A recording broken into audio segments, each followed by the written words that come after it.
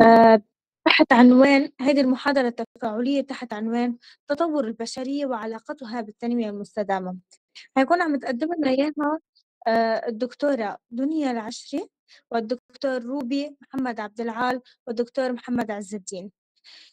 آآ حتكون هذه المحاضرة مدتها ساعتين اليوم إذا الله راد، حتكون مشتركة بين ال3 دكاترة اللي ذكرنا أسمائهم قبل شوي، أكيد في مجال لإنكم تسألوهم أي أسئلة بدكم إياها. تستفسروا عن أي شي بدكم إياه ما في أي مشكلة، كالعادة رابط الحضور بينزل بآخر المحاضرة بعد ما تقطع ساعة ونص من مدة المحاضرة.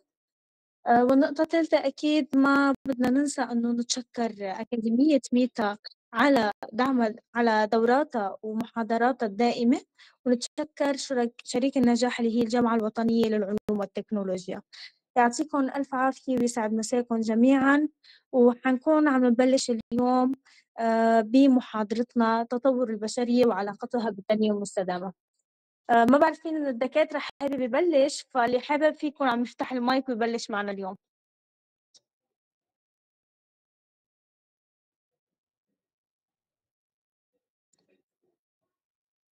الدكاترة حضرتكم موجودين معنا؟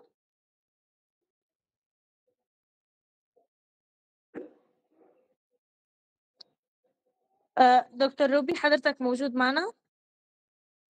أو دكتور دينا؟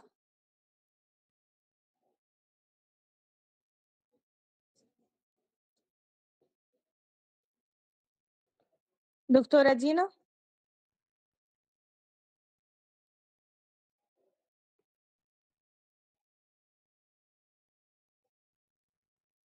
دكتورة دينا حضرتك موجودة معنا؟ تقدري تفتحي المايك وتبلشي تبلشي معنا لليوم. فاتحة المايك بالفعل. ولا يهمِّك، تقدري تكوني عم تبلشي آآ معنا اليوم كأول دكتورة بافتتاح المحاضرة التفاعلية. تمام، دكتور روبي موجود؟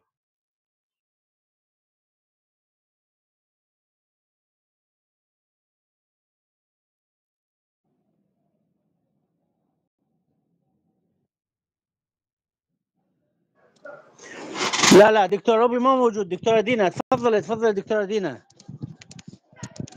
إحنا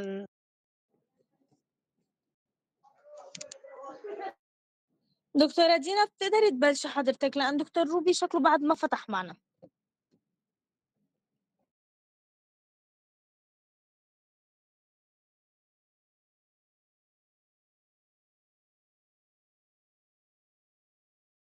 يلا يا بس. دكتورة دينا؟ أمي وين أوكي. آآ دكتورة دينا بتقدري تكوني عم تبلشي لأن دكتور روبي منّه معنا. بعد ما فتح، بس تقدري تكوني حضرتك عم تبلشي بمحاضرة بمحاضرة اليوم. بس رجاءً افتحي المايك لأنه مسكرة حضرتك عندِك المايك.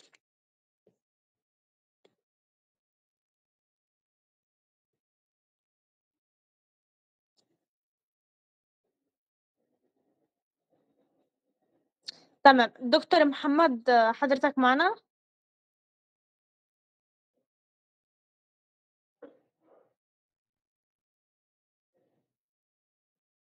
دكتور محمد عز الدين حضرتك معنا اليوم؟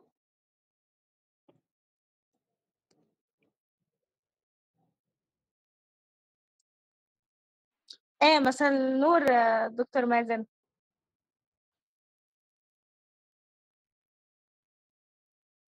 تمام، هلأ ال شكله في مشكلة عند دكتور دينا إنه عم تف تطلع وترجع تدخل.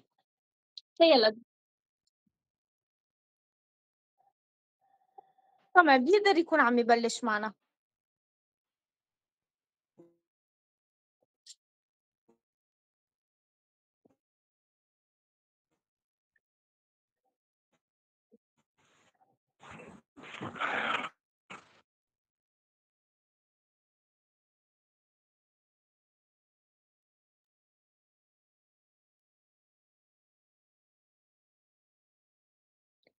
دكتور روبي بس المايك مسكر عندك بدك تفتحه تنقدر نسمعك.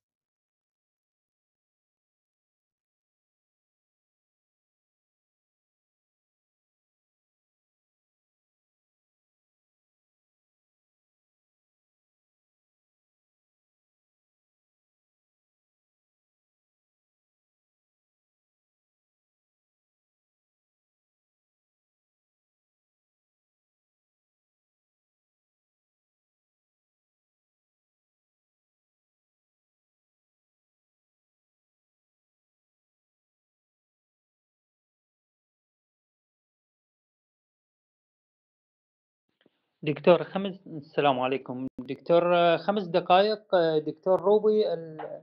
يم الإنترنت أعتقد. هسه أنا خبرتك.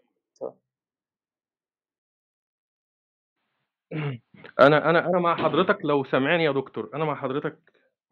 أنا متواجد مع حضرتك. السلام عليكم. كمان متواجدة بس ما أعرفش ليه آه، تقريبا يا أهلا وسهلا بيكم. بنخرج تلقائي. في حاجة مش مظبوطة تقريبا. الإنترنت.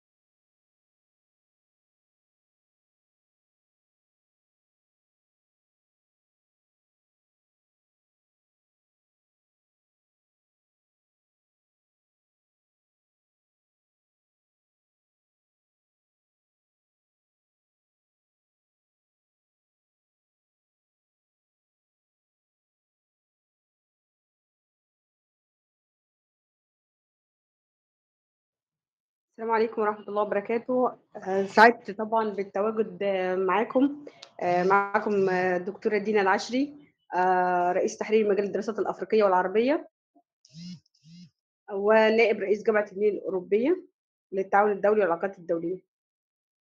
طبعا إحنا النهاردة عنوان محاضرتنا عن أهم ما يميزه هو موضوع التنمية المستدامة. التنمية المستدامة بشكل عام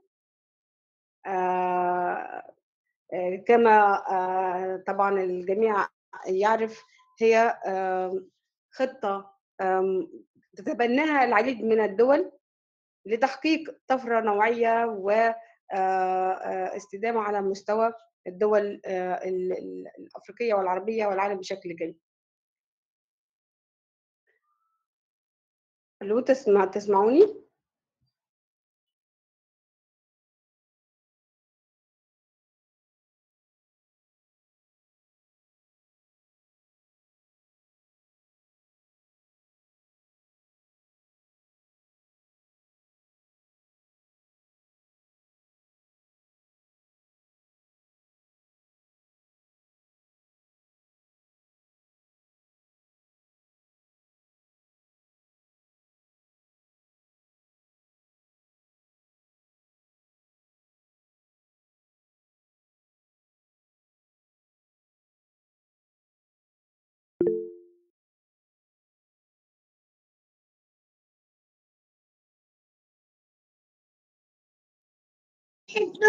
آه، دكتور روبي فيك تكون عم تبلش لأنه شكله في مشكلة عند دكتور دينا بالإنترنت.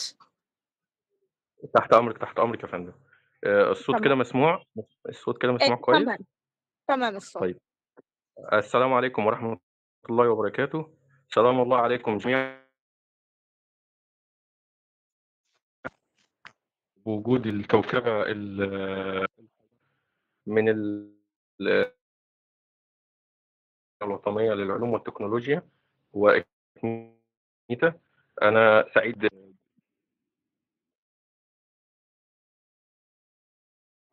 نائب رئيس جامعة عضو الأفريقية آه، في آه، أكاديمية آه، بعض الأكاديميات الموجودة داخل جمهورية مصر العربية التنمية البشرية والصحافة والإعلام وهو موضوع عميق آه، يمكن أن يكون حديث الساعة. تطفو على آه، يعني آه، بنبقى مجبرين إن إحنا نتناول قضية أو محور مهم يهم حديث الكرة الأرضية، الكرة الأرضية اللي إحنا عايشين فيها مش في معزل تماما وعمرنا ما هنكون في معزل غير عن أحداثها لاحقه لأن هي كرة. في الآخر خالص هي بت- بتدور كل كل كل داخل هذه البوتقة أو هذه الكرة معني بشأنها. آه، في الحقيقة موضوع التطور البشري وتطور البشرية هو موضوع شيق جدا. موضوع ذو جدلية كبيرة بدأت منذ خلق الإنسان. آه، الإنسان بطبيعته ربنا سبحانه وتعالى خلق الإنسان وتحدى به الملائكة تحدى به الجن. ربنا سبحانه وتعالى خلق الإنسان ليحبه ودائما وأبدا أنا أركز على هذه النقطة. ربنا سبحانه وتعالى ما خلقناش وما خلقناش حاشا لله. ربنا سبحانه وتعالى خلق الإنسان لكون إن ربنا سبحانه وتعالى بي- بيح- بيحب مخلوق. ولذلك سخر له الأرض. ولذلك جعل له الأرض ممهدة يسخرها ويسيرها. ونحن نرى الآن أننا آه، سخرنا السماء سخرنا الأرض سخرنا البحار سخرنا كل هذا لخدمتنا ولرفاهيتنا فلذلك الله سبحانه وتعالى خلق الإنسان وأنا من هدية وهي الكره الأرضية أو الأرض ليعمرها. كون إنه وهذا بالعبث السلوكي فهذا من انحراف من استواء الفطرة. طبعا في البداية ستبحث بمشيئة الله عن علاقة هذا التطور البشري بالتنمية. هناك عدة محاور ستتناولها هذه المحاضرة أو الجزء اللي أنا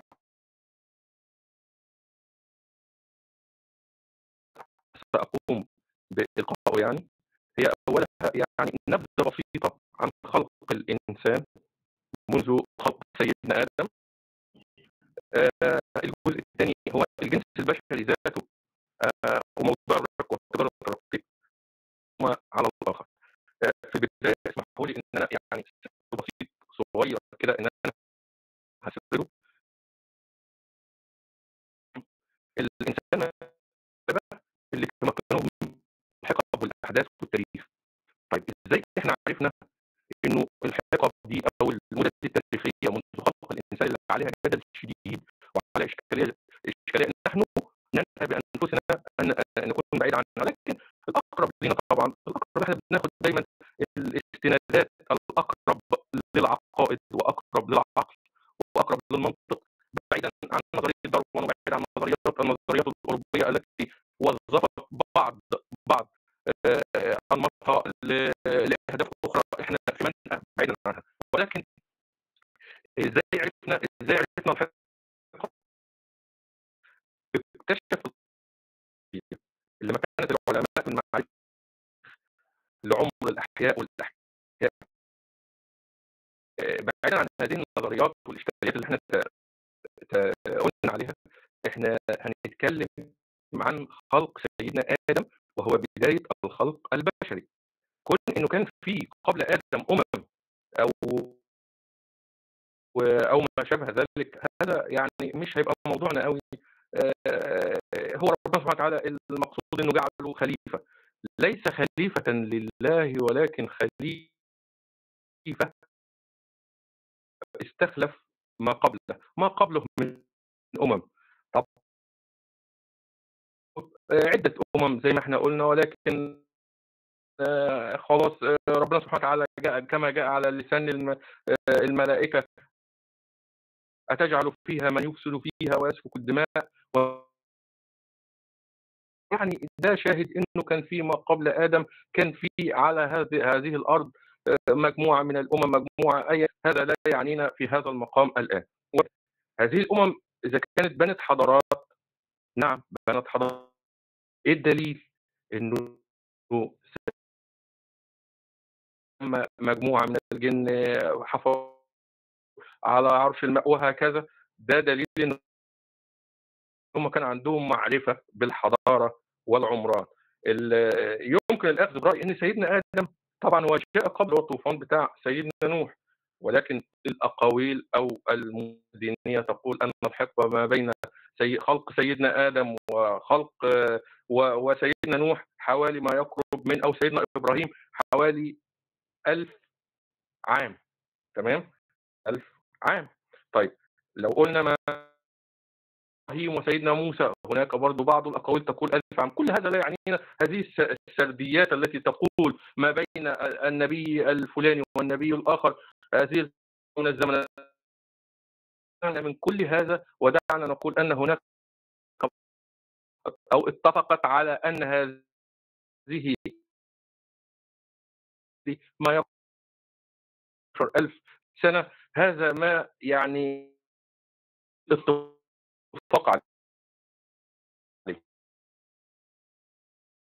بسيطة جدا. بتاع سيدنا نوح يقال إنه سيدنا نوح يعني من أنبياء الله إنه اللي كان معه حوالي شخص. ودين معه. طيب.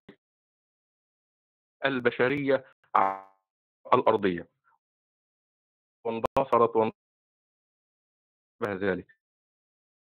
سنين يقوم بعمران هذه دي برضه نقطة لابد أن هل العدد القليل يقوم بالتنمية اللي إحنا بنتكلم عليها؟ طيب إيه المواصفات؟ إيه المواصفات اللي جعلت هذه الأمة أو هذه المجموعة تبني تبني الكون من جديد، تبني الحضارة من جديد، تبني المستعمرات البشرية من جديد. طبعا هذه احتاجت للوقت. طيب إذا كان الأعمار اللي إحنا بنتكلم عليها مهمة. في كل حقب التاريخية التي ذكرناها مواصفات عمري وكذلك ينعكس على المواصفات البشرية. إذا كان في حقبة تتراوح ما بين الألف عام إذا يستطيع الإنسان بقوته الجسمانية والفسيولوجية طبعا غير الإنسان اللي هو الحقبة بتاعته ما بين 60 ل 70 سنة. طيب ربنا كل ما ما بيخلق خلق تبارك وتعالى وجنس فهو ربنا سبحانه وتعالى تلائم مع هذه الطبيعة. إحنا لما نقول إنه الجنس البشري تعامل مع الصخور الصماء زراعة كيف عرف البنيان؟ كيف عرف العمران؟ حدائق الحضارة في مصر الحضارة أنماط أنماط رهيبة إنسان عاجزا إلى الآن كيف بهذه الأشخاص أو هؤلاء الأشخاص أن تقوم بهذا الظروف الصعبة في ظل عدم المعدات عدم وجود حضارة.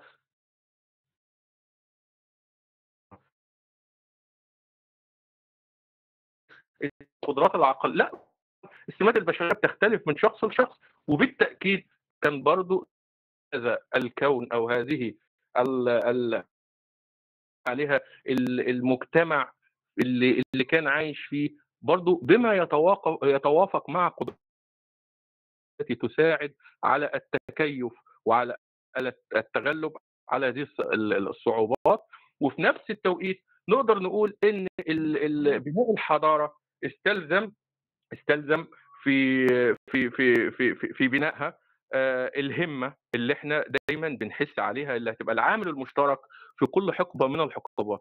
الهمة أنت إزاي جبل وإزاي تنحت فيه؟ إزاي تصنع منه بيوت إزاي تمهد الأرض للزراعة إزاي تكتشف المياه إزاي تتعامل إزاي تكتشف النار بعيدا عن النظريات الغربية بقى وتطور الإنسان وأصله كان إيه وما أعرفش إيه والغابة وإنسان الغاب والكلام كل هذا لا يعنينا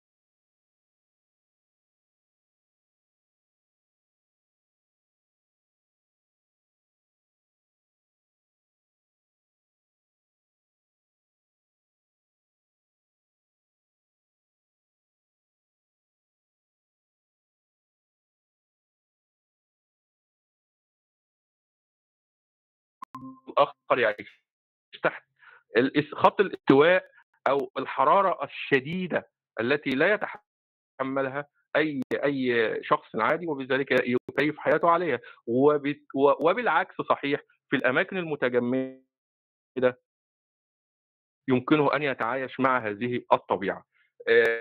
من هذه النقطة محور آخر عشان عملية الوقت واترك الوقت ل- لزملاء إحنا لما تطور البشرية زي ما إحنا بن... زي ما إحنا سردنا سريعا كده وقلنا طيب إذا كان هو ده العمران اللي قام به الإنسان. طيب نيجي للجانب الآخر الجانب طيب الجانب الإنسان ال- الجنس البشري الإنسان برضه هو اللي استغل الجنس بالشكل المسيء ربنا سبحانه وتعالى جعل الإنسان لعمارة الأرض. نيجي نبص لو جينا تناولنا انتشر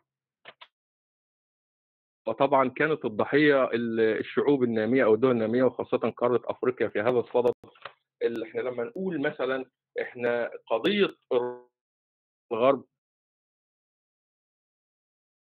لعدة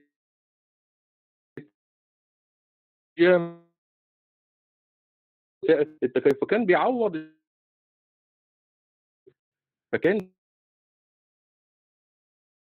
يذهب حتى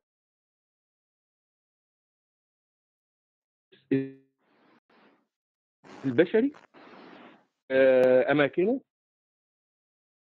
هي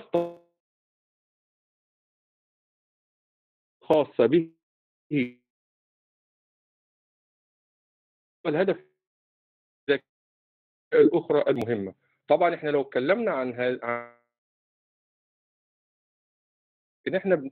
أنا عندي ملحوظة بما إني متخصص في الشأن الأفريقي ولكن أنا يعني دايما أؤرخ أن أن, إن أنا بقول إنه آه، يعني البرتغال هي صاحبة ال- السبق في هذه التجارة أو في هذا الحشد اللي هي كانت بتعتبر هي يعني زي ما نقول هي وكيل باللغة الدارجة هي اللي بتوزع ال ال ال ه- هذه التجارة على أوروبا. بدأت طبعا من من منذ بدء الاستعمار الأوروبي في العصر الحديث أنشأ مراكز تجارية حصون عسكرية على السواحل الغربية للقارة الأفريقية بالذات أو بالقرب منها. حتى أطلق الاستعمار البرتغالي في ذلك الوقت تعبير استعمار البهار هدف منه. تمام؟ لكن الأمر تحول بسرعة فأصبحت السلعة المتداولة هي الإنسان الأفريقي اللي هو بين قوسين العاجل الأسود. بالإضافة أخرى زي الذهب والصمغ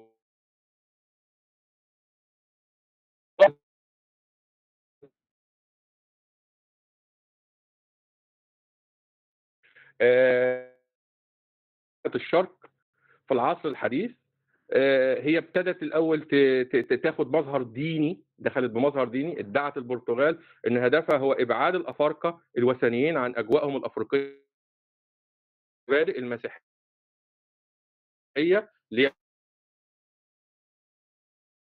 مقومين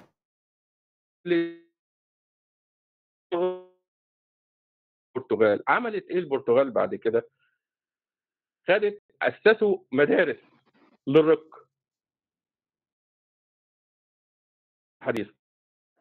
طب إدهام للأيدي العامله احتاجها الغرب لتعمير العالم. تمام؟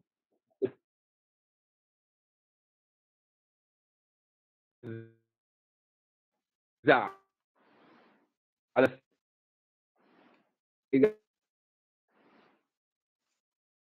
عم-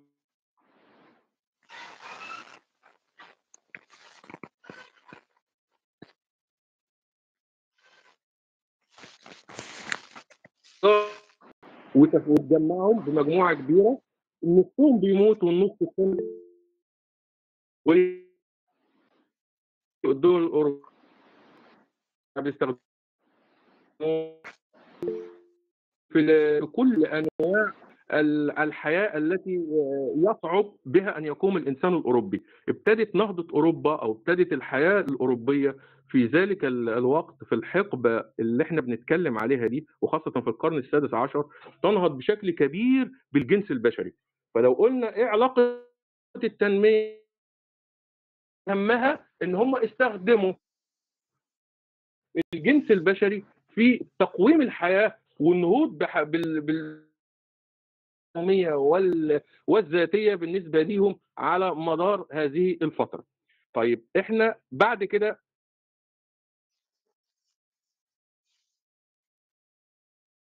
ال-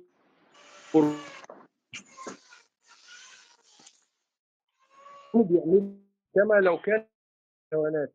يصطادوا بها يصطادوا بها ال- الإنسان ال- الفقير اللي هو مش لاقي ياكل اللي مش لاقي اللي ماشي بيدور على قوته اللي بيدور على حاجة ويضعوهم ويخزنوهم في هذه السفن. من يمرض منهم يلقوه في المحيط أو من داخل السفينة. ومن يبقى منهم حي فليذهب إلى أوروبا ليقوم بهذه النهضة.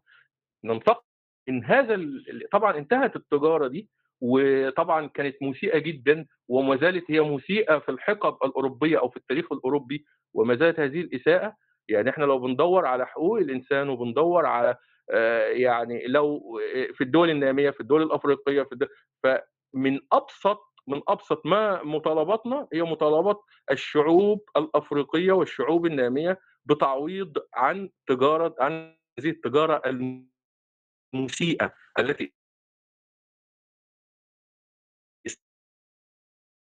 إنساني عن هذه التجارة ولكن مع ظهور الثورة الصناعية إدخال المحركات وإدخال الوقود وإدخال الوقود الذي حرك شيء آه، ابتدت الاستغناء عن الجنس البشري اللي بيقوم بهذه الأعمال وبهذه الأفعال. طبعا مش في احتياج ليه آه، بل بالعكس ده هو أصبح عبء عليه لأن هو ضروري إن هو بيقوم بالأكل والمسكن وبالتالي حلت الآلة مكان وبالتالي استغنت أوروبا عن هذا الجنس. ولكن ضروري إن إحنا نحط حقائق لابد أن تؤرخ إن الجنس البشري في هذه الحقبة كان سبب من أسباب بقاء أوروبا أو ما يسمى بالتطور الأوروبي والمساعدة على البقاء لل نيجي بعد كده لجزء آخر آه، كان معوق- من معوقات التنمية المستدامة. إذا كنا اتكلمنا عن العنصر البشري فإيجابياته الأول منذ نشأته ظهوره وكيف تكيف مع هذه الأرض وعمرها عن تجارة الرق وتجاره الرقيق واستغل واستغل لصالح مجموعة دون الأخرى أو آه، كذلك عفواً. هناك ال- الفساد. عفوا دكتور الصوت يقطع. الله يبارك لي فيك. ط- آه، كده يعني آه، آه، هل كده مسموع يا دكتور؟ بلا حاليا نعم. مسموع. ألو؟ نعم دكتور نعم حاليا نعم. بس هو يقطع شوي. نعم نعم. نعم نعم يا دكتور نعم نعم. أنا لم أتحرك من مكاني والله. معذرة هو النت ممكن يكون بس سيء بعض الشيء يعني. ال ال ال العنصر الأخير من هذه ال- الجزئية من المحاضرة هو معوق التنمية وهو الفساد. وقد يدخل في كل معوقات المستدامة. بداية من الفساد العادي الفساد ما بين المواط... الم... الم... ال- ال- الحياة اليومية والحياة بين المواطنين انتهاء بالفساد السياسي والفساد الأكبر. طبعا إحنا لو قلنا إنه عكس الفساد على التنمية هنتكلم الأول على العبث السلوكي الموجود ما بين الأفراد. ربنا سبحانه وتعالى خلق الإنسان فطرة. هذه الفطرة ربنا سبحانه وتعالى يعني أمر إن الإنسان ما ينحرفش عنها لأن لو انحرف هتميل به وهتؤول إلى مآرب آه، تفسد حياته اليو... ال- اليومية وحياته المجتمعية. طبعا من أضرار أو من سلبيات هذا الفساد اللي هو الانحراف طبعا الفساد بيولد الفقر إحنا النهارده يعني النماذج كتير جدا ونماذج آه، يعني حتى الشرح فيها هيكون يعني إسهاب غير مبرر ولكن إحنا نرى مجتمعاتنا في الوقت الحالي إحنا ما عندناش مشكلة في الموارد ما عندناش مشكلة في الطاقات ما عندناش مشكلة في أي شيء إحنا عندنا مشكلة في الفساد. الفساد اللي موجود بداية ما بين المواطن والمواطن الآخر إحنا تعودنا على العبث. يعني ممكن أذكر بعض الحالات البسيطة البسيطة اللي إحنا ممكن نعيشها. يعني إحنا في مشكلة في العالم دلوقتي اسمها مشكلة الغذاء وهي مشكلة قادمة. تمام؟ تدخل فيها عوامل كثيرة من من ضمنها التغيرات المناخية وما شابه ذلك ولكن أهم هذه السلبية أو هذه المشكلة هي مشكلة تجديف الأراضي الزراعية. الإنسان بيحول الأراضي الزراعية اللي هي صالحه للزراعه اللي هي عم اللي هي بالفعل بالفعل قابلة عملت وقابله لل- كما يقال ب- ب- بتنجب قابله قادره على الانجاب بيحولها ل- لمكاسب لمكاسب أو لمطامع ويحولها إلى أرض مباني وهذه المشكلة موجودة في معظم يضر بالبيئة يضر بالتنمية يضر بال... بكل شيء. إنها التكالب الدول الصناعية وما زلت أكرر أن السبب الرئيسي بل السبب الأعظم في هذا ال- ما نراه من التغيرات المناخية وانعكاساتها على حياتنا المجتمعية وحياتنا اليوم اليوم اليومية هي ال- الدول الصناعية.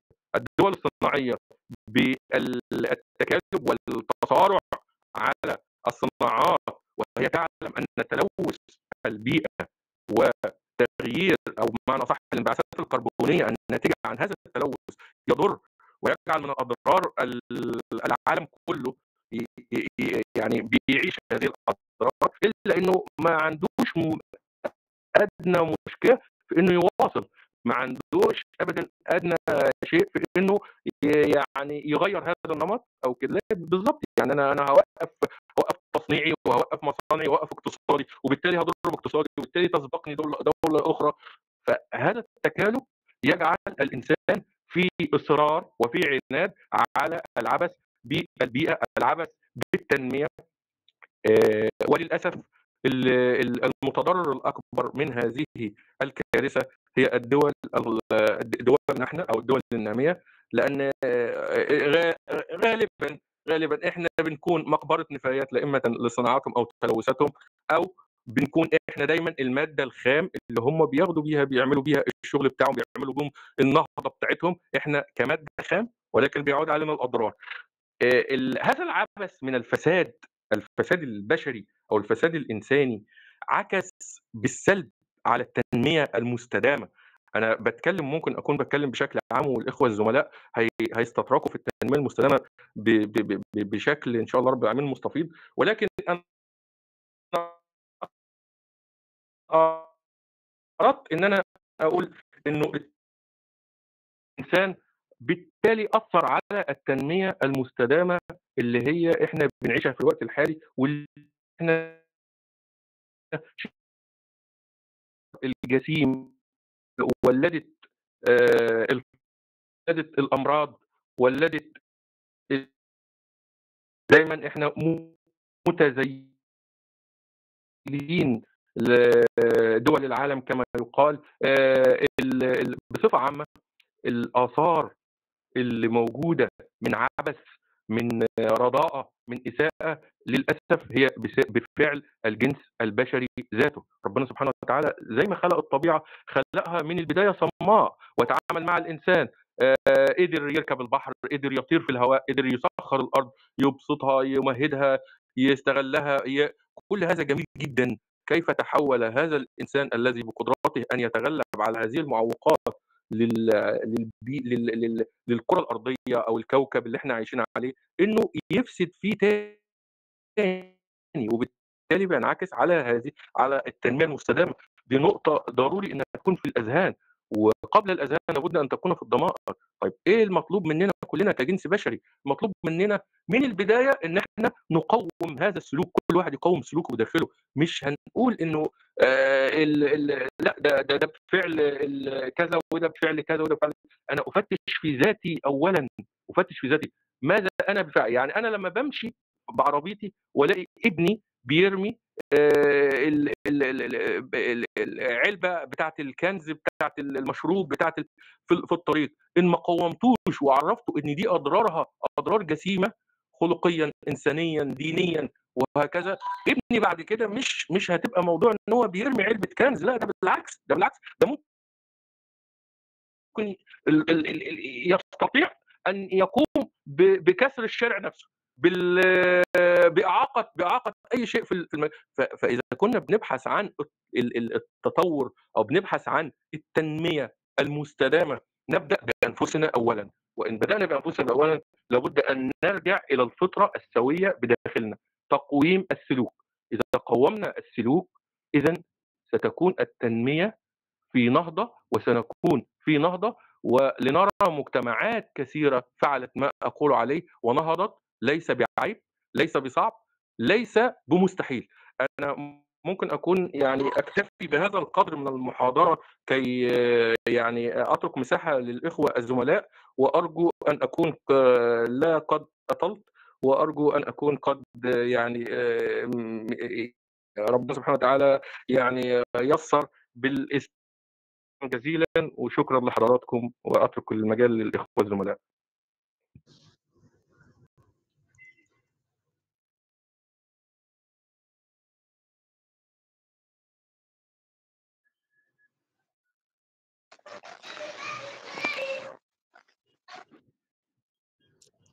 يعطيك العافية. دكتور روبي. آه حن- حتكون معنا هلأ المفروض دكتور دينا. دكتور دينا حضرتك معنا؟ معكم معكم. تحياتي للجميع وشكرا لدكتور روبي عبد العال على آه، هذه المعلومات ال- ال- أو الجزء اللي حضرتك اتكلمت فيه بشكل مستفيض. آه، آه، حديثي ال- ال- اليوم هو حول آه، التنمية المستدامة وبشكل عام وتعريفها وأهمية التنمية المستدامة في العالم الحديث وكذلك آه، تأثير التنمية غير المستدامة على البيئة بالاضافه للفوائد الاقتصادية والاجتماعية للتنمية المستدامة وكذلك الجهود العالمية لتحقيق التنمية المستدامة آه، وأيضا آه، كيف يمكن للأفراد المساهمة في التنمية المستدامة وأيضا آه، نهاية التنميه غير المستدامة والخطوات العملية للتحول لعالم مستدام. آه، يعني بشكل عام الدكتور روبي تحدث عن آه، بداية ال- التنمية وكيف كان الإنسان دور منذ ال- البشرية أو بداية البشرية في التأثير التأثير على التأثير والأثر على عملية التنمية المستدامة. التنمية الم- أو أو جيت أعرف التنمية المستدامة بشكل ما فإحنا كما نعلم أن التنمية المستدامة هي عملية آه، تلبي احتياجات آه، آه، الجيل الحالي دون المساس بقدرة الأجيال القادمة على تلبية احتياجاتها. كمان التنمية المستدامة هي العمل هي تشمل العملية الأبعاد الاقتصادية والاجتماعية والبيئية أيضا. آه، كمان التنمية المستدامة هي بتهدف إلى تحقيق التوازن بين الاحتياجات الاقتصادية والاجتماعية وكذلك البيئية وبين تحسين جودة آه، الحياة آه، للجميع. فبالتالي لابد أن يكون هناك توازن يتحقق بين الاحتياجات والقدرة المتوفرة من من آه، من ال- الاحتياجات التي استخدمها كأفراد. آه، كمان هنتكلم عن إن آه، آه، أهمية التنمية المستدامة في العالم الحديث آه، بنقول إن أحد أهم التحديات طبعا اللي بتواجه العالم الحديث آه، إن التنمية المستدامة أو النمو الاقتصادي والتنمية الاجتماعية دايما بيتطلبوا استخدام الموارد آه، الطبيعية بشكل مستدام. يكون لدي موارد حتى أستطيع تحقيق التنمية آه، سواء على المستوى الاجتماعي أو أو الاقتصادي بشكل بشكل عام.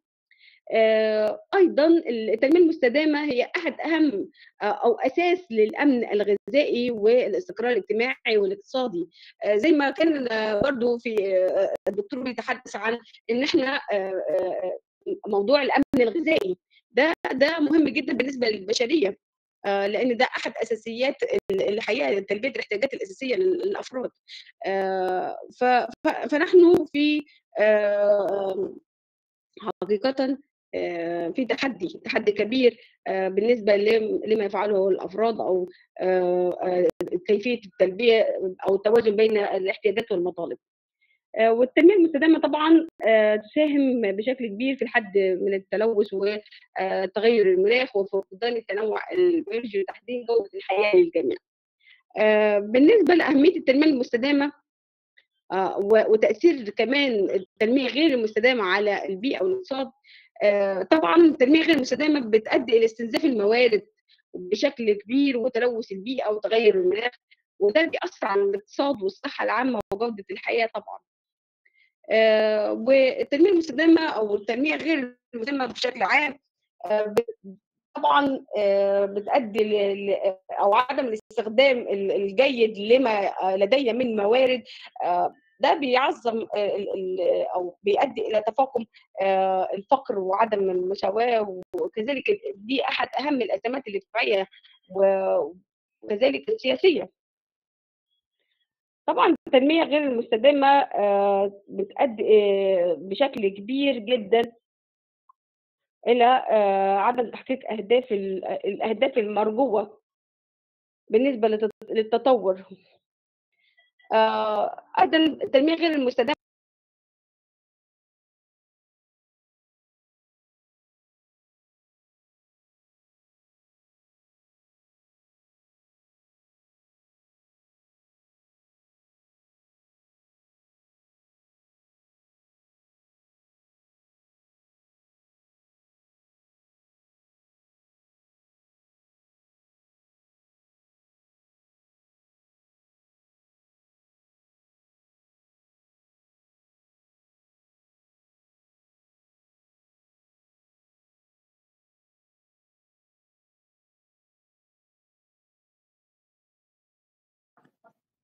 دكتور دينا شكله فصل عند الإنترنت.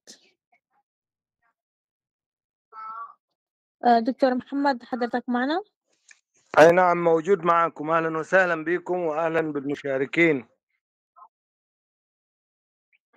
أهلا وسهلا فيك. تفضل. اولا أهلا وسهلا بكم وأشكر أكاديمية ميتا للدعوة الكريمة لعمل المحاضرة حول تطور البشرية والتنمية المستدامة. وأشكر زملائي الأفاضل الدكتور روبي عبد العال والدكتورة دينا إتاحتهم لي الفرصة في التحدث عن التطور البشريه والتنمية المستدامة بمنظورها الانثروبولوجي آه، وطبعا آه، يعني هم ما سابوليش مجال أتكلم فيه خاصة إنه ما شاء الله كلهم تبحروا في كافة ال- المحاور وأشكرهم على المعلومات القيمة اللي هم قاموا بها وأتمنى إن آه، كلامي يكون آه، زي ما بيقولوا مستساغ أو يعني آه، مفهوم بشكل أكبر لكل السادة الزملاء اللي موجودين واللي حاضرين معانا المحاضرة أو الندوة. طيب آه، طبعا يعني هتكلم بداية عن تطور البشرية ورفض الدكتور روبي للتحدث عن النظريات الغربية. وأنا طبعا يعني آه، آه، ضد إن إحنا آه، نترك آه، آه، النظريات الغربية دون دراسة أو دون تدقيق. يعني مثلا نظرية التطور للأسف معظم آه، منطقة الشرق الأوسط والدول النامية أو الدول الأفريقية بتاخد نظرية التطور بمنظور ديني فقط أو بمنظور هو تطور الجنس البشري يعني كبنية كبنية فقط لا غير. لكن آه، هناك الاتجاه التطوري آه، معظم ال- الذين تبنوا نظرية ال- النظرية التطورية أو الاتجاه التطوري ما يعني ما اقتصروش هذه النظرية على تطور جسد الإنسان أو بنيته أو كذا لا هم أخذوا أخذوا الاتجاه التطوري في الثقافة التطور في السياسة التطور في الزواج التطور في الاقتصاد. فلذلك مثلا عالم من العلماء أبحر في تطور الاقتصاد وبدأ في شرحه وقسمه إلى آه، مرحلتين كل مرحلة إلى ثلاث أجزاء يعني مرحلة النمو والمرحلة الوسطى والمرحلة العليا. حتى وصل يعني بيسميه المرحلة البربرية العليا والمرحلة البربرية الوسطى والمرحلة البربرية السفلى. بدأت التطور الحقيقي في عندما اكتشف الإنسان النار هذه مرحلة. والمرحلة الثانية بدأت عندما اكتشف الإنسان وصنع بنفسه بدأ الاقتصاد الحقيقي عندما تطور الإنسان وصنع لنفسه رمح وصنع لنفسه إناء.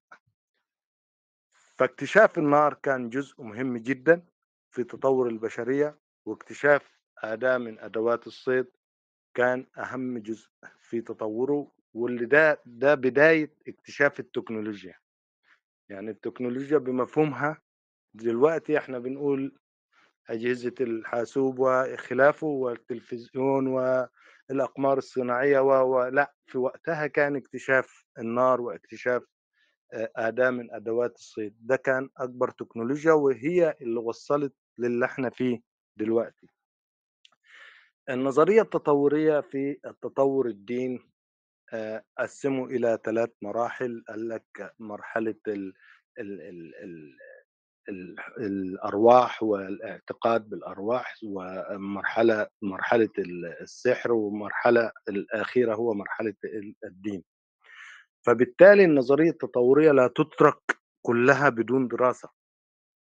لأن النظرية التطورية ما هوش يعني طبعا مش في خلق الإنسان ما يعني ما ما, ما يتقالش مثلا آه الإنسان كان أصله قرد فإزاي ده معارض في الدين في الآية كذا؟ طبعا للأسف أنا متفق إن هو طبعا يعني الإنسان بني على أحسن تقويم وده يعني زي ما بيقولوا ما حدش يقدر يعترض فيه. والإنسان خلق كإنسان وما كانش أصله قرد. إذا كان الإنسان خلق من 24 ضلع والقرد خلق في 25 ضلع والجزء الفقرة الأخيرة ال 25 هي التي مسؤولة عن انحناء جسد القرد وإلى آخره. الله سبحانه وتعالى عرض الأمانة على كافة الكائنات إن عرضنا الأمانة على السماوات والأرض فأبين أن يحملهن. وحملها الإنسان وكان ظلوما جهولا فبالتالي الإنسان هو اختار أو قبل أنه يحمل الأمانة أمانة العقل وأمانة التكليف. فبالتالي الله سبحانه وتعالى يعني إداله خلافة الأرض وتنمية الأرض وجعلوا خليفة على الأرض بحيث أن هو يحكم الأرض بقوانين هو وضعها الإنسان. وكلما يعني الإنسان انحرف أرسل أرسله الله له الرسل لي يعني ليعود إلى طريقه السليم. لغاية ما وصلنا إلى وضعنا الحالي لكن برضو الإنسان بعد تبنيه الأديان السماوية لكن الإنسان حتى الآن للأسف عدو نفسه وعدو البيئة. وطبعا التنمية المستدامة في حد ذاته كدراسة هو المحافظة على البيئة للأجيال القادمة واستغلال الموارد الموجودة في الأرض الاستغلال الأمثل. وبالتالي أعتقد أن يعني للأسف الشديد أن الإنسان يعني زي ما قلت عدو نفسه فبالتالي هو للأسف ما بيستغلش خاصة في منطقة الشرق الأوسط أو الدول العربية والأفريقية ما بيستغلش الموارد باستغلال الأمثل بالعكس بيهدر الموارد بشكل كبير جدا. وللأسف ولا يبقيه للأجيال القادمة. في 2015 الأمم المتحدة تبنت مؤتمر التنمية المستدامة ووضعت 17 بند وكل الدول الأعضاء وافقوا على محاور التنمية المستدامة. 17 حتى تصل بدايتها من 2016 لغايه 2030 لكن ما تحقق على أرض الواقع للأسف حتى الآن في مجالات التنمية المستدامة يعتبر حتى الآن صفر. الإنسان لم يترك مجال يعني حتى لل الأماكن الطبيعية التي يعني ربنا سبحانه وتعالى جعل فيها التكيف البيئي واستمرار الحياة البيئية والطبيعية لا راح انتهكها مثل الغابات والصحاري ودخل بشكل كبير جدا بآلاته وبمعداته وابتدى يجرف سواء الأراضي أو الغابات أو غيره. وأعتقد يعني بما لا يدع مجال للشك إن بنود التنمية المستدامة 17 لن تتحقق لغاية عام 2020 لأن لغاية يومنا هذا والإنسان بيصارع الإنسان في كل بقعة من هذه الأرض. طيب هل يجوز إن إحنا يعني نستمر على هذا المنوال من محاولة استغلال كل ما ما ربنا سبحانه وتعالى أعطاه لنا دون الابقاء على الأجيال القادمة وخاصة إن كل هذه الموارد غير متجددة سواء الموارد المعدنية أو سواء الموارد الطبيعية معظمها غير متجددة هو فقط لا غير الطاقة هي الوحيدة المتجددة. للأسف الشديد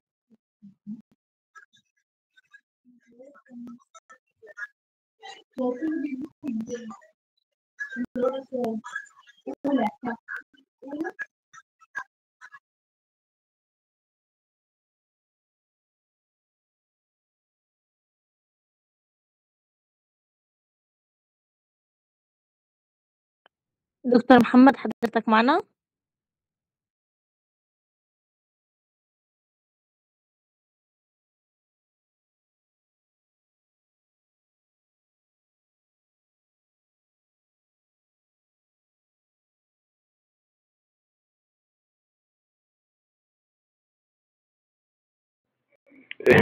لو تسمحي لي إلى حين يدخل الدكتور محمد سمحت استاذتنا ولا يهمك اتفضل. هو استكمالا طبعا لاستاذنا الدكتور محمد عز يعني هو برضه في نفس الإطار أو نفس المحور هو العبث السلوكي للإنسان. إحنا يعني ربنا سبحانه وتعالى طول ما الدنيا بتبقى ماشية على النمط القويم والنمط السليم هي عمارة الأرض هي التنمية هي بناء لحد أن تقوم الساعة ربنا بيحسنا إن إحنا نعمر هذه الأرض. وإذا عمرناها بالطريقة أو الأسلوب الصحيح سنستطيع أو ستكيف لنا أو ستهيأ لنا بالشكل الأمثل والشكل الأفضل. إحنا ممكن نشوف ظاهرة التصحر وظاهرة حرق الغابات حرق الغابات للحصول على طاقة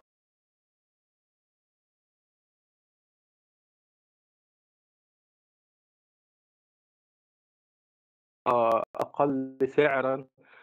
بنشوف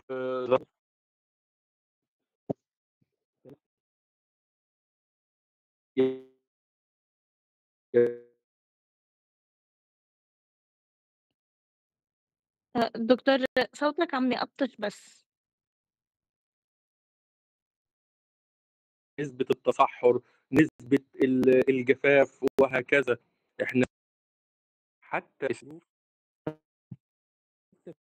بعتذر جدا جدا. والله للأسف الشديد ما أعرفش إيه اللي خلى الخط يقطع. ولا يهمك دكتور محمد. الله الله يخليك. اتفضل أستاذنا اتفضل أستاذنا اتفضل.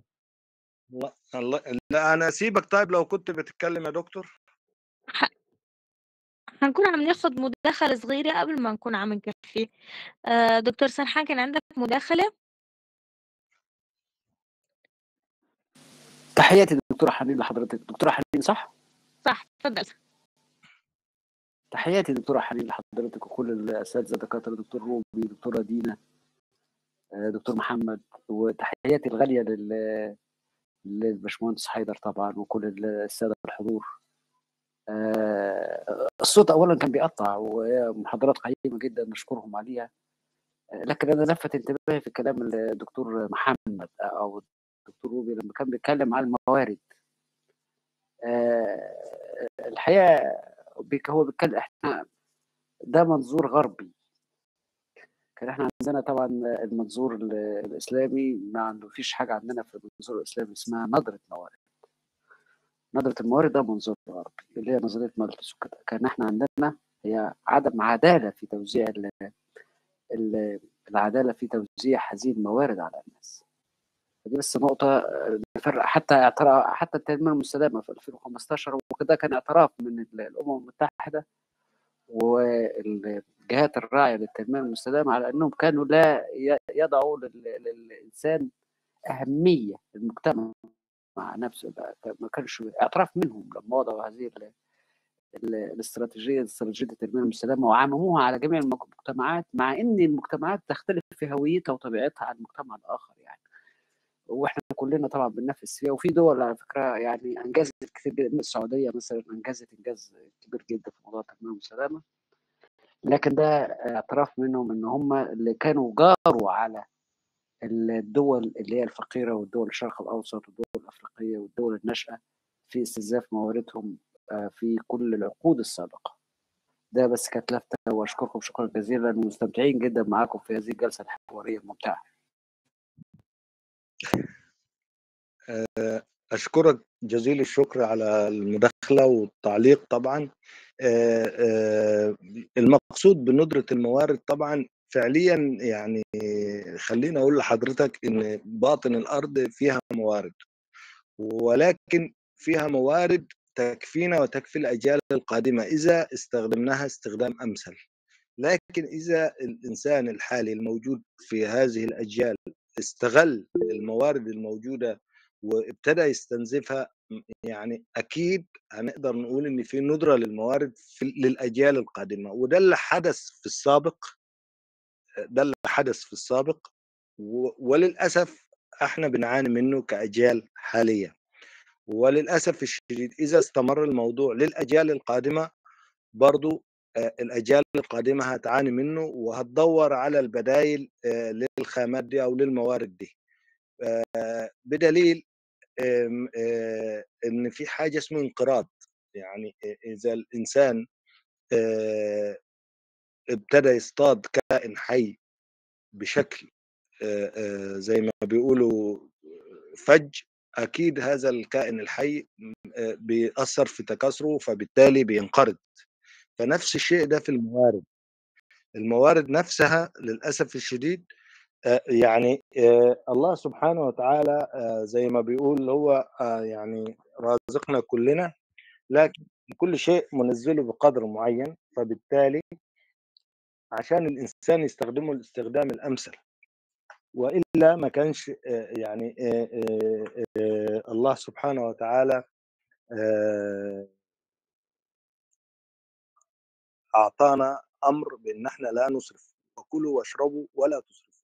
إن الله لا يحب المسرفين. فبالتالي ندرة الموارد إن كانت حتى منظور غربي إلا أن إحنا كلنا لابد إن إحنا يعني نقول إن هي موجودة فعليا. مش يعني مش كل شيء غربي إحنا هنتركه. ومش كل شيء غربي إحنا هناخده.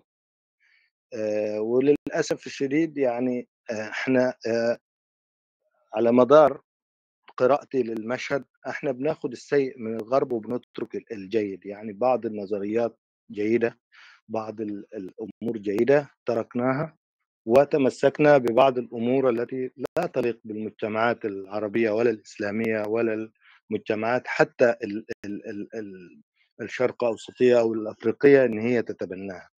وده لل- للأسف الشديد طبعا يعني إن دل على شيء يدل على إن إن يعني ما فيش انتقاء وفي حاجة اسمها العولمة.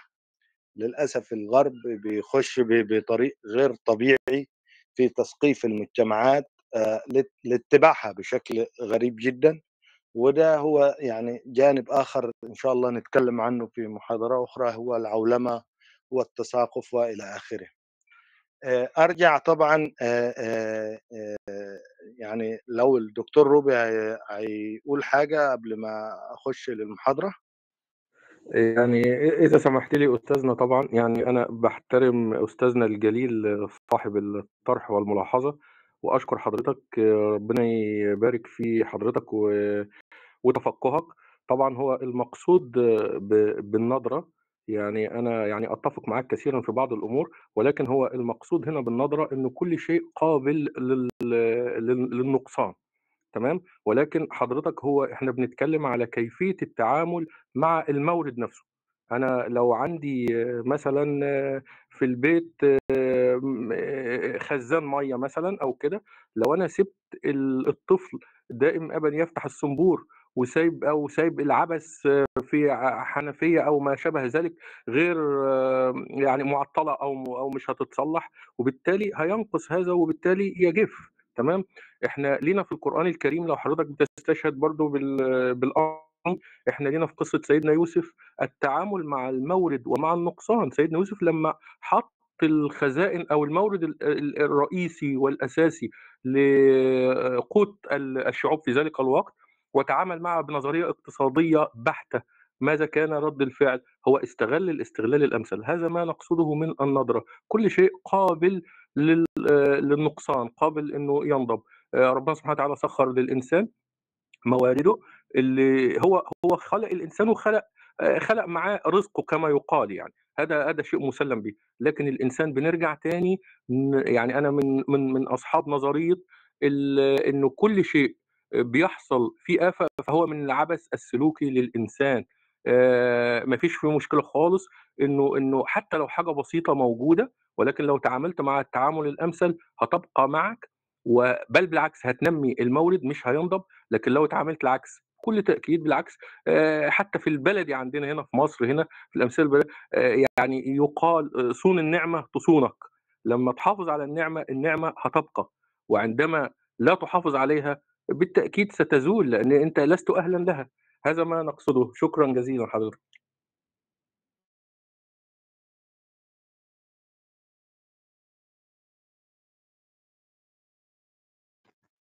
العفو يا دكتورنا وشاكرين للتعليق. طيب التنمية المستدامة وإن كانت تجد جذورها في علم الاقتصاد لكنها طبعا بتتعدى ذلك لترتبط بمجموعة من العلوم وأهمها هي علم الأنثروبولوجيا.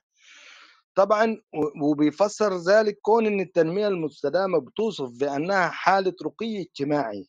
فهنرجع كده نقول إيه؟ هو التعامل مع ال ال ال ال الخامات أو الموارد أو اللي موجوده على الأرض إزاي نتعامل فيها فده معناه إنه إحنا بنأثر على الثقافة يعني التنمية المستدامة هتخش في في في تغيير بعض أنماط الاستهلاك والثقافة وإلى آخره في المجتمعات المعنية بإن إحنا نسلط عليها مبادئ التنمية المستدامة. طبعا لما بنقول إن هي حالة رقي اجتماعي متشعبة في عناصرها فهي تقدم في مستوى المعيشة لدى الأفراد، يعني معناه إن الإنسان الفرد الواحد ده هيبتدي يغير من سلوكه سواء الاستهلاكي أو سلوكه في في في في كل الأشياء عشان يحصل حالة التنمية المستدامة وده هيرجعنا للتثاقف، التثاقف أو ال ال ال ال أو ال أو زي ما بيقولوا العولمة الثقافية، هل التنمية المستدامة هتفرض علينا؟ هنا بقى أقدر أقول لك stop يا نظريات غربية، stop يا مفهوم غربي، stop يا يا كل العلوم الغربية، هنا أوفي لو سمحتي التنمية المستدامة نجيبها بطريقتنا إحنا بنمطنا إحنا بأسلوبنا إحنا. عشان لما لما تغير فينا إحنا ما تغيرش في الأساس ما تغيرش في ثقافة المجتمعات ال- الراقية.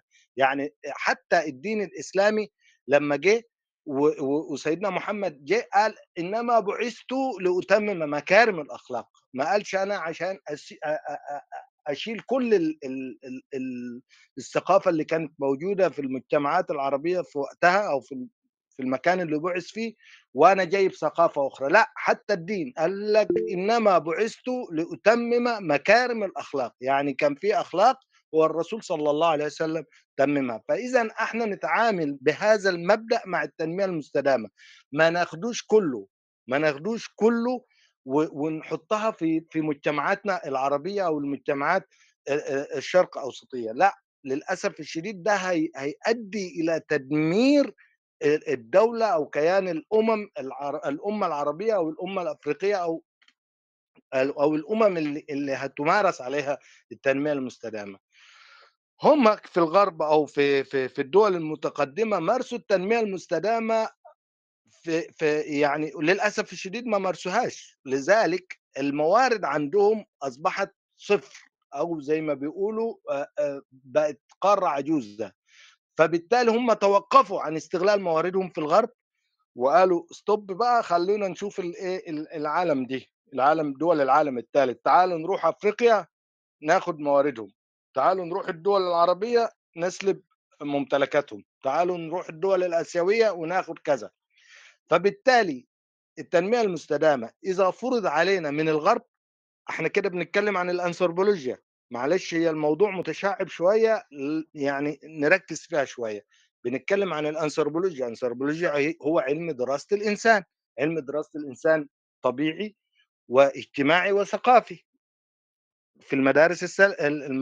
في في مدرسة الأنثروبولوجيا البريطانية أو أو الفرنسية أو الأمريكية هم في النهاية اتقسمت لثلاث حقول. الحقل الطبيعي هو دراسة البنية الإنسانية والجسم الإنسان وإلى آخره ودراسه الأنثروبولوجيا الثقافية والأنثروبولوجيا الاجتماعية. فبالتالي إذا أخذنا التنمية المستدامة في الأنثروبولوجيا معناه إن هم هيغيروا من تفكيرنا هيغيروا من ثقافتنا هيغيروا من ممارساتنا الحياتية اللي إحنا نشأنا عليها واللي إحنا بنتطور فيها بشكل غير طبيعي مع تطور استخداماتنا للتكنولوجيا أو لل- للأجهزة و و إلى آخره. لكن للأسف الشديد إذا استقبلنا التنمية المستدامة بمفهوم الغربي ده فيها تدمير. ما فيهاش تدمير للمجتمعات ال- ال- العربية والأفريقية. طيب نرجع بقى نقرأ تاني. توصف بأنها حالة ركون متشعبة على مستوى سلوك الإنسان في التعامل مع البيئة المحيطة به حرصا منه على حياته وحياة المجتمع كاملا.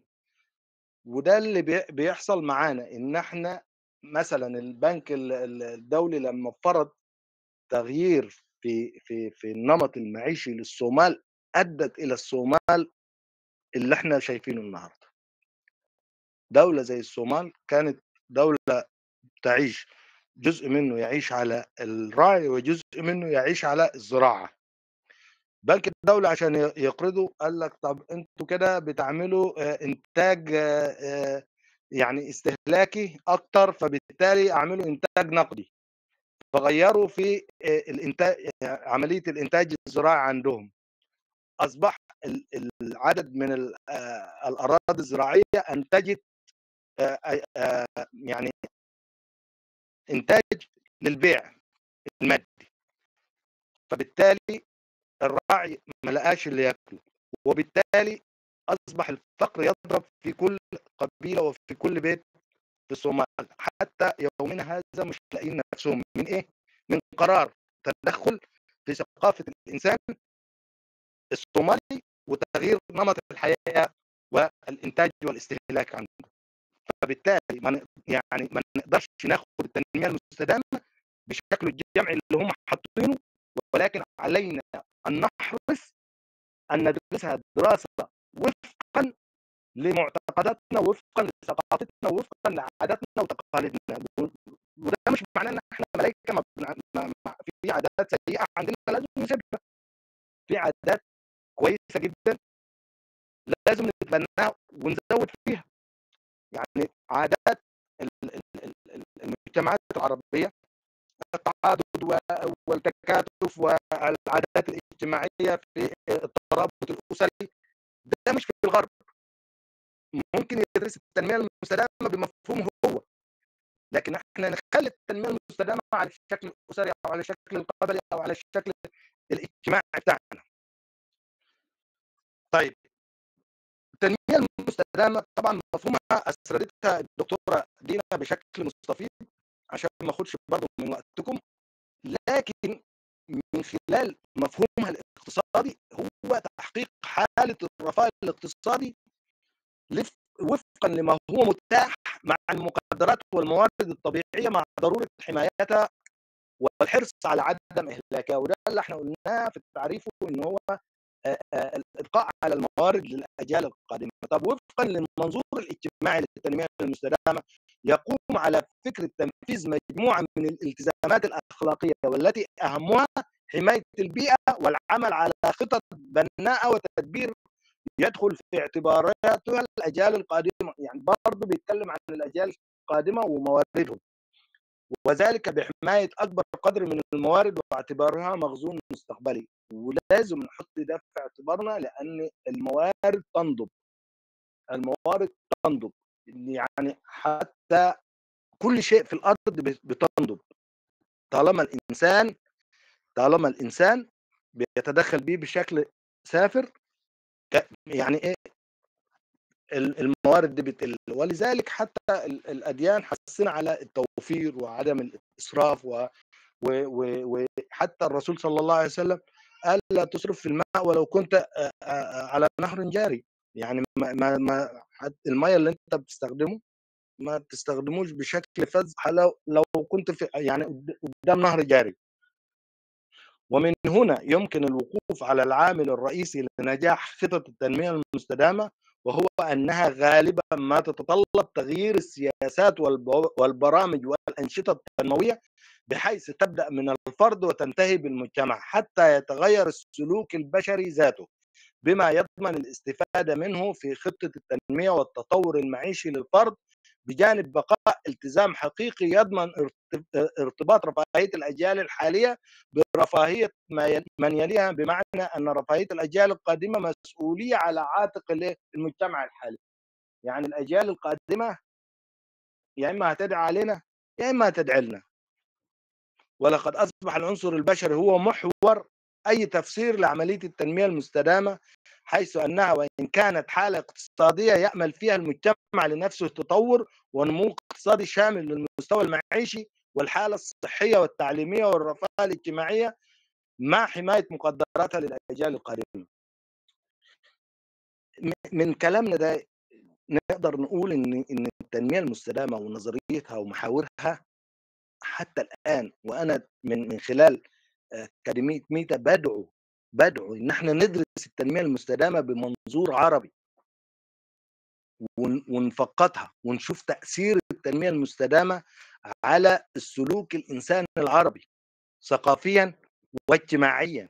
لأن إحنا لو أخذنا القالب الأوروبي ونفذناه على الدول العربية ممكن تأثر تأثير بالغ في بنية المجتمع العربي. فلذلك يا ريت دعوة آه، لأكاديمية ميتا ودي أكاديميتنا كلنا نعمل نشرة أو أو أو مسابقة لدراسة محاور التنمية المستدامة وتطبيقها عربيا وتأثيرها على المجتمعات العربية إذا طبقت بنفس المفهوم الغربي طيب آه، نقدر بقى من خلال عناصر التنمية المستدامة طبعا بنتكلم عن التنمية ال- الاقتصادية والتنمية الاجتماعية والتنمية الثقافية وحماية البيئة. كل دي محاور التنمية المستدامة لكن يبقى يبقى في الأساس لأن أنا باحث اجتماعي يبقى التحذير قبل ما أنهي كلامي إن إحنا ناخد القوالب الأمريكية أو أو الغربية ونطبقها على الدول العربية بشكل كما هو بدون دراسة وبدون تحقق وبدون بحث لأن ده هتأثر ونتائجها على المجتمعات العربية أو الأفريقية هتكون كارثية خاصة إن إحنا كدول يعني أو كمجتمعات حتى الآن يعني متمسكين ب- يعني الأشياء أو الثقافة أو العادات والتقاليد القديمة.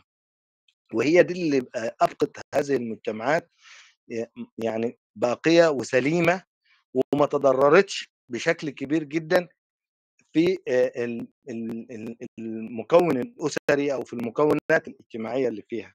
يعني إحنا ما بقيناش غربيين ولا في عاداتنا ولا في تقاليدنا ولا في تزاوجنا ولا في اختلاطنا آه، إحنا لينا معتقداتنا ولينا آه، آه، عاداتنا ولينا تقاليدنا وفي حاجة يعني عندنا تربينا عليها هو الصح والغلط والعيب والى آخره بجانب الدين هي دي اللي كان هي دي اللي أبقت هذه المجتمعات كما هي سليمة وكما هي باقية.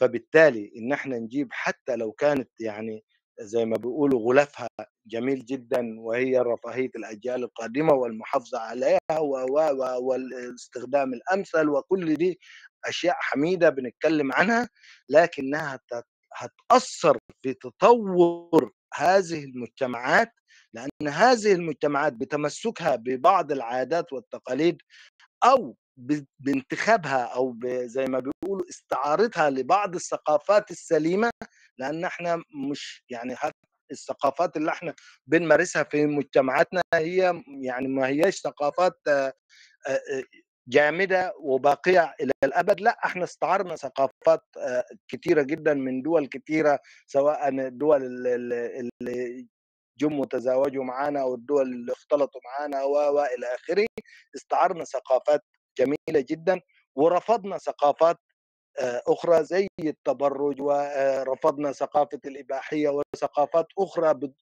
الغرب بيعاني منها. فبالتالي لو إحنا قلنا هننفذها هننفذ البنود بتاع التنمية المستدامة بشكلها الجامد اللي موجود ده أو قلنا هننفذ النظريات الغربية أو النظريات العلمية اللي هم وضعوها بشكلها أو بط- بطريقتها لأ إحنا كده بنضر بمجتمعاتنا مش وبنضر بالأجيال القادمة لأن أصلا أصلا المحافظة المحافظة ووصول ثقافتنا للأجيال القادمة هي من التنمية المستدامة. يعني إحنا لو رحلنا عاداتنا وتقاليدنا الحميدة وثقافتنا المحترمة للأجيال القادمة هي من بنود التنمية المستدامة. فمش عشان بند اقتصادي نضيع البند الثقافي ومش عشان بند رفاهية الإنسان في المستقبل أو في الحالي نضيع ال- ال- البنية الاجتماعية للأسر أو المجتمعات العربية. فبالتالي دعوة أخرى لميتا. ضرورة عمل بحوث عن التنمية المستدامة وفق مفهوم عربي. أشكركم ومنتظر التعليقات ويا ريت يبقى في تعليق وأخذ وعطاء في الحوار.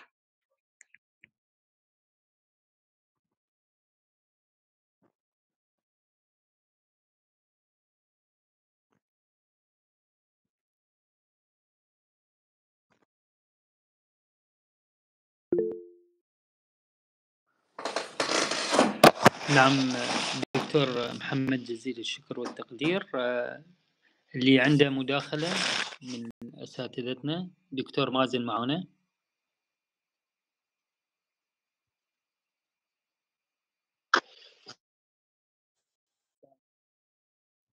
مساء النور دكتور مازن.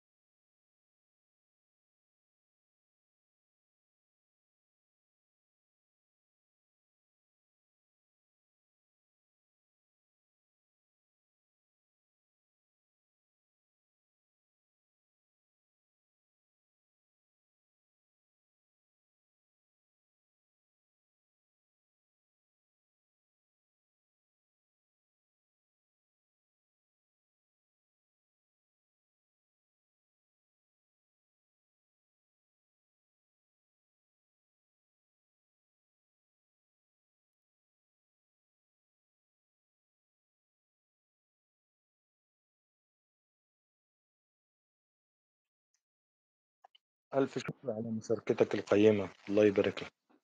شكرا لحضرتك يا دكتور شكرا. شكرا جزيلا دكتور مازن. الله يبارك فيك.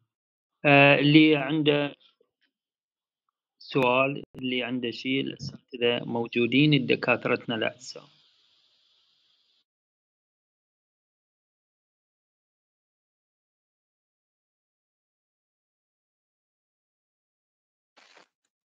في الرسائل آه، دكتور آه، جاء آه، تعليق آه، من دكتور عاطف إن هناك فرق بين العادات والثقافات والعادات والتقاليد.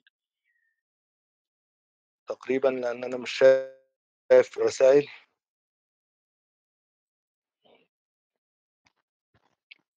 طبعا آه، العادات والتقاليد هي جزء من الثقافة. يعني آه، أو هي آه، من محاور الثقافة عموما. الثقافة أو الهوية هي آه، ممارسة الإنسان لحياته مع البيئة اللي هو عايش فيها.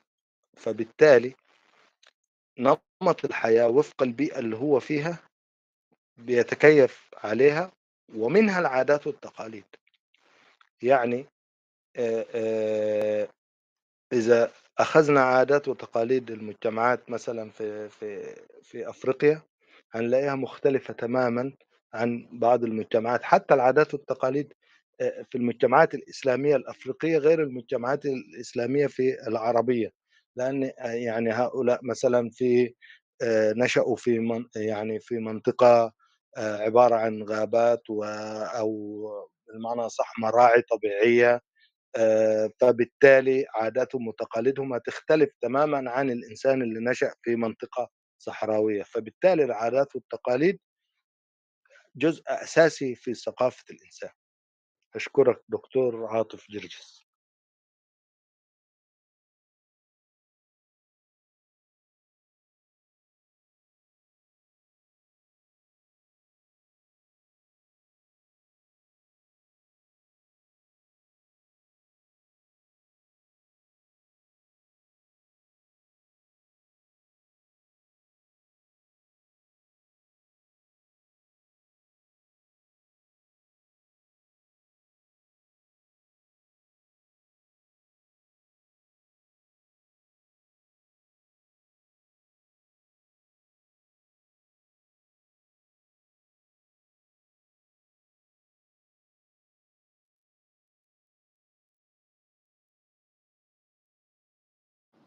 姥爷我辛苦啊我都好累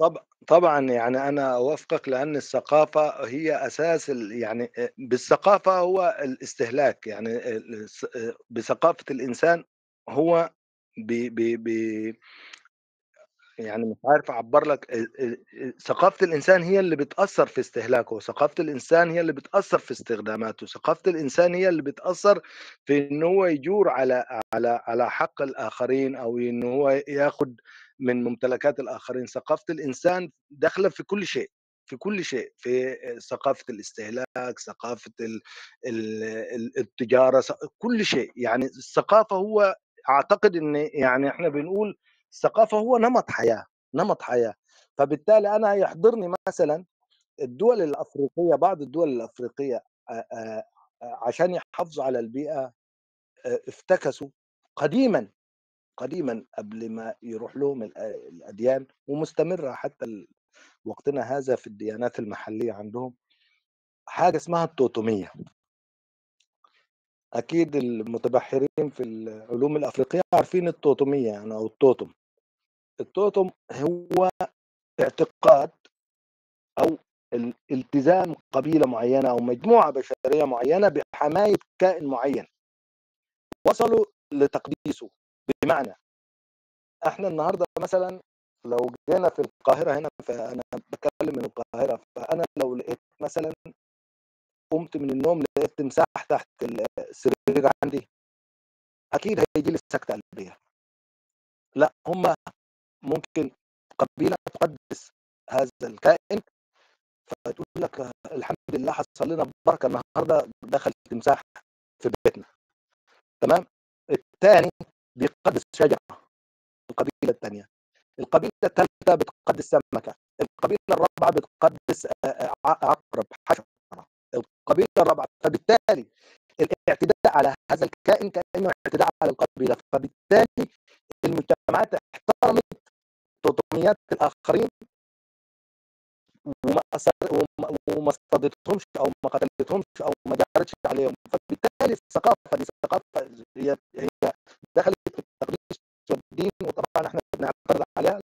ما وصلهمش كان ال- ال- ال- الأديان قدروا يحافظوا على البيئة بتاعتهم.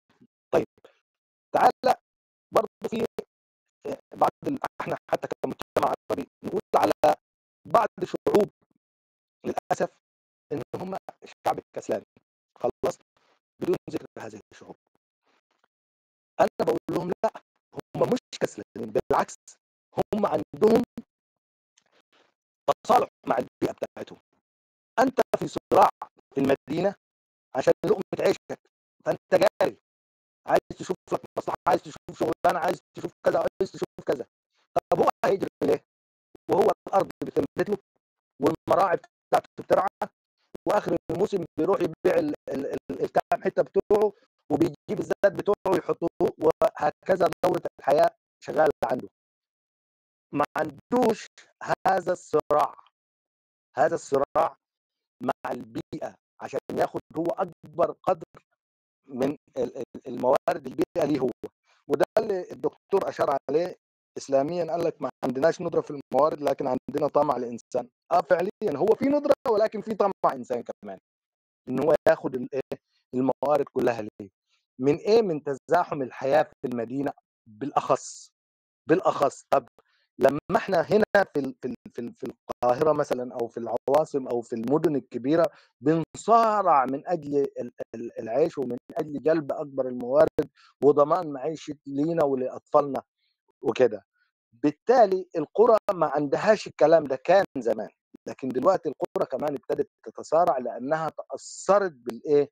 بالعولمة دخل عليها التلفزيون ودخل عليهم الإنترنت فبالتالي هم شايفين الانتريه الفلاني بالشيء الفلاني وشايفين البيت مدهون بكذا وشايفين السيراميك وشايفين كذا وشايفين كذا فعايزين يوصلوا. هم اهو ده بقى اللي هو الايه العولمة اللي قلت لك عليه عايزين يوصلوا للحالة بتاعتك اللي انت في المدينة. انت قاعد في قدام آه، فيلا فيها أشجار وفي حمام سباحة. هو عايز يوصل للرفاهية هو شايف إن دي رفاهية مش شايف إن اللي هو عمل اللي هو فيه من إن آه، آه، الكائنات ال- ال- الحية يعني إحنا مثلا أنا أفتكر أنا نشأت في في بيئة ريفية في في في, في النوبة وكان عندنا كل مواردنا في البيت موجودة ومحفوظة وبنرعاها سواء من طيور أو من غنم أو أرانب أو خلافه وكان بيجي لنا الأكل من الزرع الدقيق والقمح والى آخره.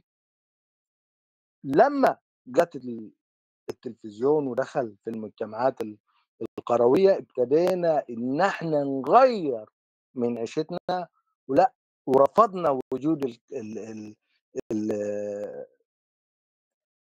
ال اللي إحنا بنستخدمها الحيوانات أو أو الفراخ أو أو الطيور رفضنا وجودها في جانب أو في حجرة أو في مكان منعزل حتى داخل البيت لأ رفضناها بتاتا وابتدينا نستهلك من المحلات والبقالات والى آخره. ولذلك ال ال الإنسان في الريف عندنا ما كانش كان بيحس بالمرض في ال... قبل ما يجي له الموت بثلاث أيام. وبعدين نسمع إن فلان اتوفى. لكن دلوقتي وهو شاب كم من الأمراض دخلت عليه من السرطانات وخلافه آه للأسف الشديد من التغير الثقافي. التغير الثقافي في الإنتاج والتغير الثقافي في الاستهلاك من إيه؟ من إيه؟ من العولمة. والعولمة دي هو التلفزيون والإنترنت استخدمناها استخدام سيء. فبالتالي العادات والتقاليد هو أساس والثقافة هو أساس التنمية المستدامة. والمحافظة على العادات والتقاليد والثقافة هو أساس التنمية المستدامة. إحنا في أزمتنا الاقتصادية اللي إحنا بنمر بيها أنا عملت دعوة إن إحنا نرجع زي ما كنا ننتج ما نستهلكه في منازلنا. ننتج العيش بتاعنا وننتج ال ال ال الطيور وننتج الحاجات دي نرجع لتربيتها في بيوتنا. للأسف إحنا في في العاصمة مش هنعرف نعمل كده لكن في في القرى لو عملوا كده العاصمة هتعيش في رفاهية أو المدن هتعيش في رفاهية. أشكرك يا فندم وأكون يعني أتمنى إن أكون أجبت على سؤالك. أنا أنا أنا لو تسمح لي استاذنا يعني أنا ليا تعقيب صغير لو سمحت لي استاذنا دكتور مازن. هو هو يعني إحنا دايما كنا بندعو المحافظه على الهوية الثقافية. والهوية الثقافية للأسف الهوية الثقافية تكاد تكون اندثرت أو بتندثر أو خليني أكثر تفاؤلا وأقول إنها تبعثرت.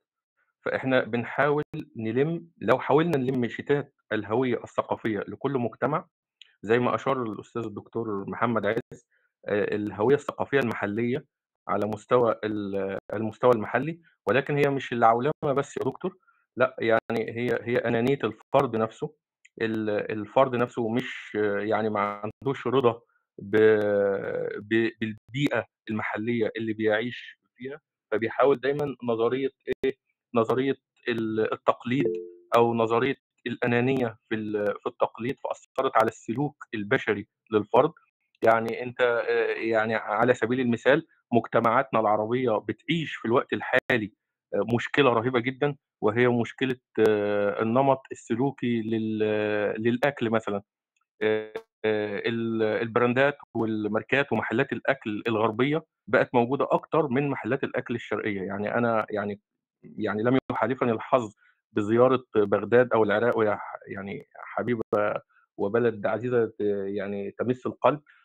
يعني كنت أسمع إنه في أكلات شعبية موجودة تختص بهذا البلد حتى في الشارع على مستوى البيوت. إحنا يعني لما نشوف الوجبات السريعة ال fast food دلوقتي اللي اللي اللي مسرطنة واللي جابت الأمراض وعملت وسوت إحنا لسه كنا بنتكلم في بعض القرى أو في أغلب القرى دلوقتي ظاهرة في مصر مثلا محلات اسمها محلات الكريب آه نمط آه سلوكي غير معتاد. طيب إحنا كنا أغلبنا من الريف وكنا بنسعد إن إحنا بن يعني الأكل كان بيت بيت بي بيطهى على الحطب أو الخشب وهذا صحي 100% طيب تغير هذا النمط وهذا السلوك أصبح السلوك الغربي بأجهزته الميكروويف وما شابه الأكل الغربي المصدر من المحلات والبراندات الأنانية المفرطة تغيير النمط السلوكي حتى في الأكل أثرت على صحة الإنسان. الحاجة الأخرى يعني كان في سؤال برضو في الشات أنا شايفه إنه بالنسبة للغرب لا يصلح للمجتمعات العربية. أنا متفق مع حضرتك تماما صاحب هذا السؤال وأنا بقول إن أهداف التنمية المستدامة إحنا ليه دايما إحنا بناخد بناخد الأنماط اللي بتملى علينا من الغرب وهي لا تناسب مجتمعاتنا بالفعل؟ يعني أنا لما بتكلم مثلا على المجتمعات الغربية هي عدت مرحلة الهيومن نيد. ما عندهاش مشكلة خالص في الاحتياجات الأساسية للإنسان. هي بتبحث عن الرفاهية.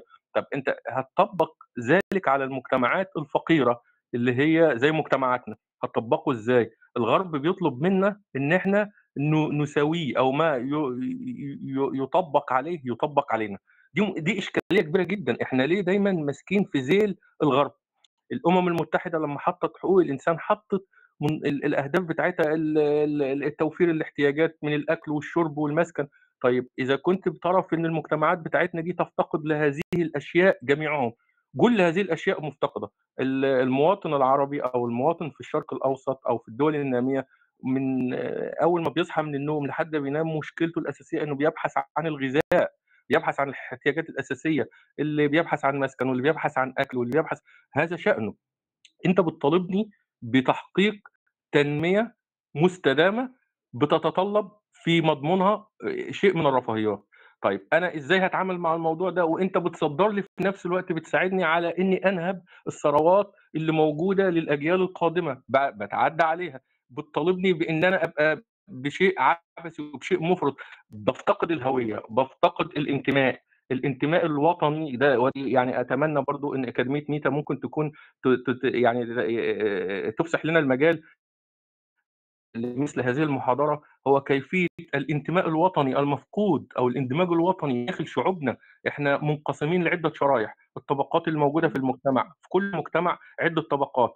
ط- طبقة فيها تفاوت كبير ما بينها وبين الطبقة الأخرى. بيولد عدم الاندماج بيولد عدم الانتماء. طب ال ال ال كل ده بيأثر نتيجته إيه؟ أو هو تأثيره كلها إيه؟ تأثيره بالفقر. أنا عندي فقر مش هيبقى عندي انتماء.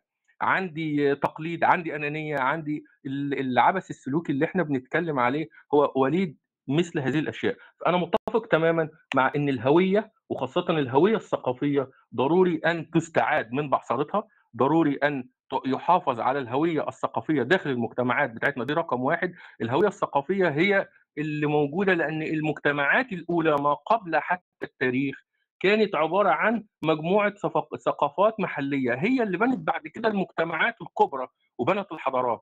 وكل مجتمع كان بيحافظ على سلوكه سواء المجتمع الرعوي المجتمع الزراعي المجتمع وهكذا. كل ده كان ليه خصوصيته وليه ثقافته الخاصة به وبذلك كان نتاج لثقافات. العادات اندمجت في هذه الثقافة فكونت ثقافة كبرى ثقافة تحت مظلة ثقافة يعني يعني يعني على سبيل المثال يعني أنا يعني كل سنة وحضراتكم طيبين إحنا على مشارف آه، قدوم شهر رمضان الكريم. كل عام بن- بنواجه مشكلة الإفراط. والتعامل مع شهر رمضان بالإفراط في ظل الظروف الاقتصادية وفي ظل ندر أو قلة بعض ال ال ال الأشياء للمواد الغذائية وما شابه ذلك في في معظم المجتمعات. طيب إيه الآلية اللي إحنا حطيناها ان نحافظ على هذه السلوك؟ يا اساتذتي الكرام كل الإخوة الم- ال- ال- ال- المستمعين لهذه المنصة أنا أدعو أدعو إن إحنا نغير من نمط العقل ونساعد على تغيير النظريات التي رسخت في العقل أن أنا وفقط أنا وليس من دوني شيء. تمام؟ نغير هذا السلوك نغير هذا النمط. إحنا بنتعامل مع مجتمع كله موارد كله خيرات كله ثروات. ربنا حباه الله بكل الأديان السماوية كل ال- الثروات كل الدنيا تكالبت علينا وما زالت تتكالب. لما نبص نلاقي إن ال ال الإنسان بيساعد على الحروب اللي بتهدم البنية التحتية والبنية المستدامة اللي اللي بنيت منذ مئات السنين. تأتي الحروب وبأيدينا وبأيدينا وبمساعدتنا وننسفها للأجيال القادمة. إحنا بنتعدى على الأجيال القادمة. لماذا لم تشرع أو لماذا لا تنادي الدول المتضررة اللي هي دولنا إحنا إنه في مواثيق الأمم المتحدة في مجلس الأمن في المنصات الكبيرة إنه في حالة الحروب في حالة الصراعات يحرم الاعتداء على البنية التحتية والبنية الأساسية اللي موجودة لأنها مش خاصة بالجيل ال- ال- صاحب الصراع دي خاصة بالأجيال ال- الأجيال القادمة. إحنا بنقعد نبني سنين نبني مئات السنين وبتأتي حرب بتأتي صراعات تنسف ذلك في لحظات. فما ذنب الأجيال القادمة؟ وهذا عائق من عوائق التنمية المستدامة. أنا أطلت كثيرا ولكن أنا أشكر سعه صدركم. شكرا جزيلا لحضراتكم.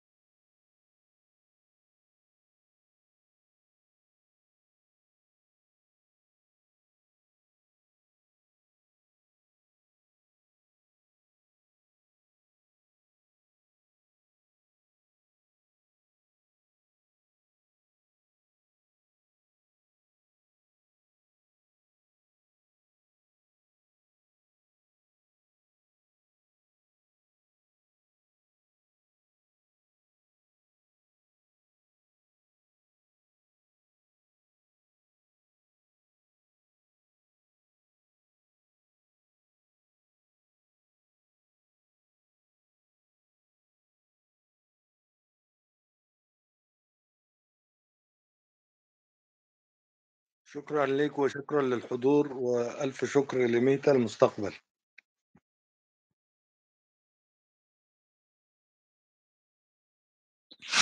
جزيل الشكر والتقدير للجميع. آه، جزيل الشكر والتقدير إلى الجامعة الوطنية للعلوم والتكنولوجيا في العراق وعلى رأسهم السيد رئيس الجامعة الدكتور عبد الرزاق العيبي وكذلك الأساتذة اللي حوله في إدارة الجامعة وعلى رأسهم مركز التعليم المستمر والأستاذ الدكتور مازن الحميد وجميع السادة الحضور. كذلك نشكرهم وأكاديمية ميتا المستقبل التعليمية إن شاء الله تكون بوابة لهكذا محاضرات.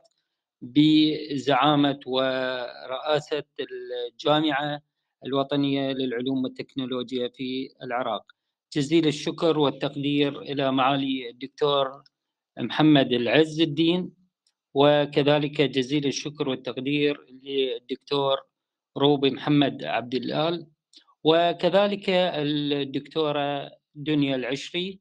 جزيل الشكر والتقدير على هذه المحاضرة القيمة.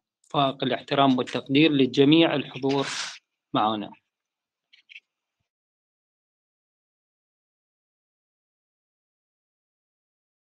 شكرا جزيلا لحضراتكم شكرا لأكاديمية ميتا والجامعة الوطنية للعلوم والتكنولوجيا وشكرا لحضراتكم على ساعة الصلاة